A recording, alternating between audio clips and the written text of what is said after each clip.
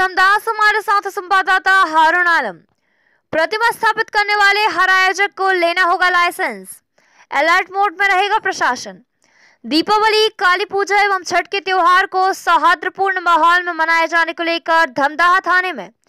रविवार को थाना अध्यक्ष प्रदीप कुमार पासवान की अध्यक्षता में शांति समिति की बैठक आहूत की गई, जिसमें धमदाहा बीडीओ डॉक्टर रवि रंजन विशेष रूप से शामिल हुए। बैठक को संबोधित करते हुए बीडीओ डॉक्टर रवि रंजन ने कहा कि काली पूजा के अवसर पर प्रतिमा स्थापित करने वाले हर आयोजक को लाइसेंस लेना होगा। वही प्रतिमा विसर्जन तय तिथि के अंतर प्रशासन की निगरानी में संपन्न कराया जाएगा, जिसके लिए लाइसेंस के साथ ही प्रतिमा विसर्जन का रूप चार्ट भी संलग्न करना होगा। साथ ही दीपावली के दौरान पटाखे चलाने हेतु सुप्रीम कोर्ट द्वारा जारी किए गए गाइडलाइन का सभी को पालन करना होगा।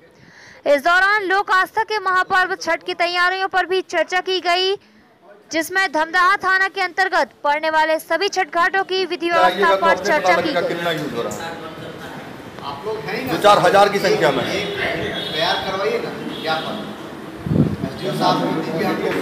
अपने सबसे रिक्वेस्ट करके कर लेना।